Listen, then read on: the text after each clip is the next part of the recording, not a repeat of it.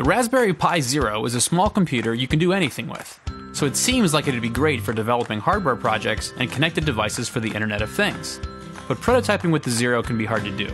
There are often tricky wires, tight soldering, and confusing data sheets involved in actually building your idea. And that can make the process of building Internet of Things devices with the Raspberry Pi Zero frustrating, expensive, and harder than it should be. So, allow us to introduce the Grove Pi Zero. The Grove Pi Zero simplifies all of this. There are no more jumpers, no more breadboards, no more soldering to bring your Internet of Things design to life.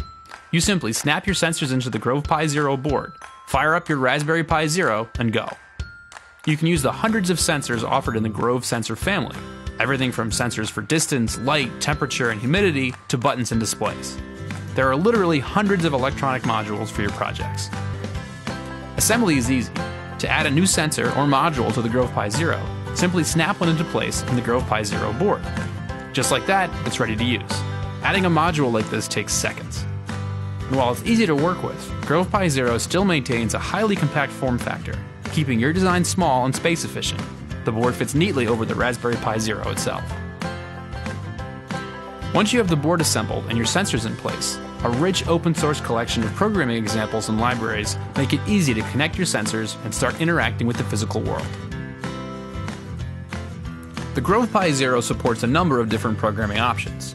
Our community developed software library has programming examples for most Grove sensors in Python, C, Java, and Scratch. Our examples and libraries are all clearly documented, so they're easy to understand and use. The Grove Pi Zero makes Raspberry Pi hardware truly plug and play and enables fast, easy prototyping. The powerful little Raspberry Pi Zero is just waiting for you to release your maker creativity and build the projects you are passionate about. And with the Grove Pi Zero, you're just minutes away from starting your next great connected device project.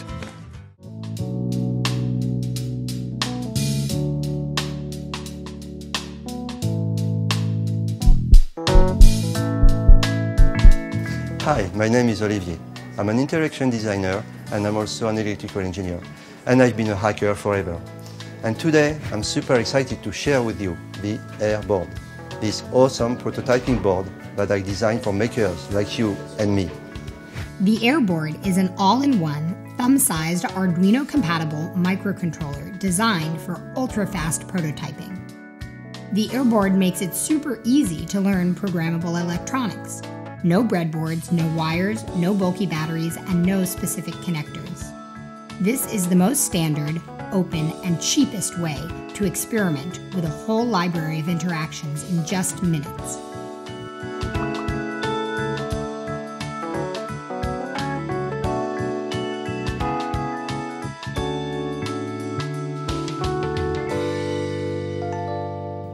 Airboard is wireless friendly. It is compatible with all certified Bluetooth, Wi Fi, and XBee shields on the market, and is also ready for upcoming wireless radios.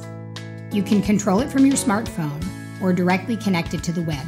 It's your choice. Just pick up the wireless shield that best suits your application, and you're ready to go. The best thing is that it allows over the air programming of your regular Arduino sketches in all of the three modes. No need for a reset button.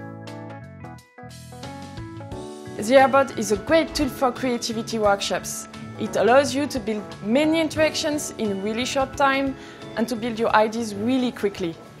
After many prototypes and two years of user testing, the Airboard is now ready for production. We partner with a top European manufacturer in our beautiful French Alps, close to the Italian border. We just received our pre-production prototypes today and they are just awesome. So if you've got great ideas, the Airboard will allow you to transform those ideas into realities fast. Elemental Path is really ambitious. We want to change the way kids learn by improving the way they play. To do that, we're creating an internet connected smart toy. It started with the IBM Watson competition and understanding what was the best way to use the platform. We noticed a really big gap in the way toys engage with children. Should go out to you and play, not just respond to you.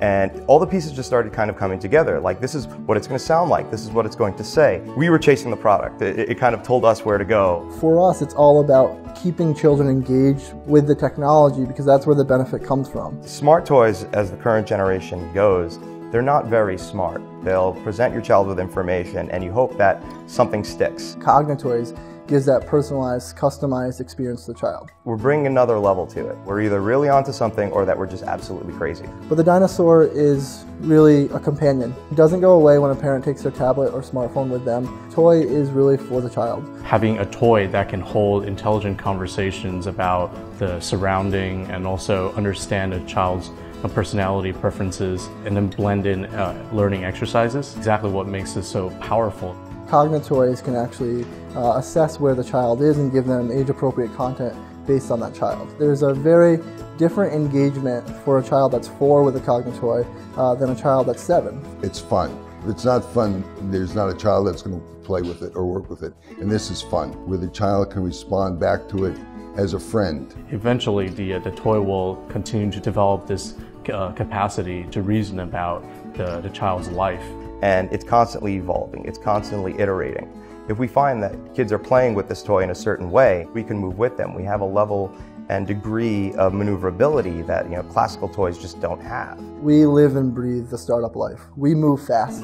Every single team member really has contributed to make this happen and we've moved rapidly to get to where we are right now and then we're not going to stop. Our vision really is to get our technology into most toys so that toys are not only affordable uh, and fun, but educational. You have to have a strong team of people.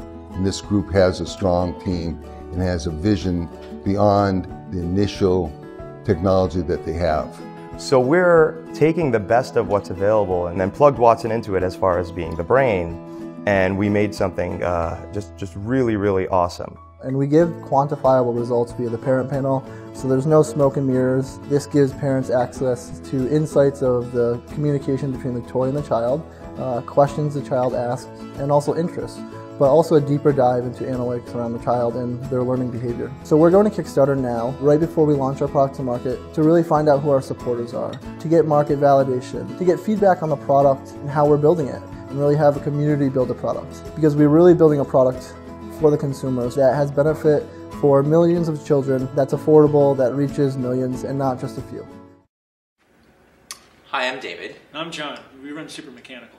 We spent the last couple years at the MIT Media Lab developing new technologies that connect objects and uh, humans in a more natural way. Unfortunately, developing new connected interfaces can be really difficult. So we created Twine to uh, make it easy no matter whether you're a tech enthusiast, a DIY type, or a creative thinker, we all start on the same plane. You don't know how to program or to solder. Um, so really, Twine teaches objects how to speak, and you just have to tell them what to say. Twine is the simplest way to connect stuff to the internet. It's a durable two and a half inch square that listens to its environment and relays what it senses over Wi-Fi. It runs for months on batteries. Sensors to detect vibration and temperature are built in. You can also plug in other sensors like a moisture sensor or a magnetic switch. If you're more adventurous, you can plug in your own analog or digital inputs with the breakout board. Twine can tell you what your sensors are saying using SMS, Twitter, and email. Or for more control, hook it into your code with HTTP. This is the web app that lets you tell Twine what to do. It's tightly integrated with the hardware, so you can see your Twine shows up along with the built-in accelerometer and temperature sensors. Uh, now if you want to plug in an external sensor, like this easy button, you just take your twine, plug it in like this, the button shows up immediately, and even cooler, it's live. So you can see your sensors responding to stimuli. Uh, now, this allows you to set up your twine with no programming. It's a rules-based interface, simple language. So you can say, when button 1 goes down, then text, turn on the AC in here. If you want to do something more complicated, like tie in the temperature sensor, then you add a filter. And let's say I want to say when temperature is also below, no, above 72 degrees. So now, when button goes down while temperature is above 72 degrees, then text, turn on the AC in here. You know the internet, right? There's a website for almost everything. It has changed the way you communicate. And for anything you could think of, there's a way to search for it. All of a sudden, you have the world in your pocket. And you want to extend that magic into everything that surrounds you, because you know that when you do, amazing things will happen. That's the Internet of Things. And with the WiPy, It's as easy as it sounds.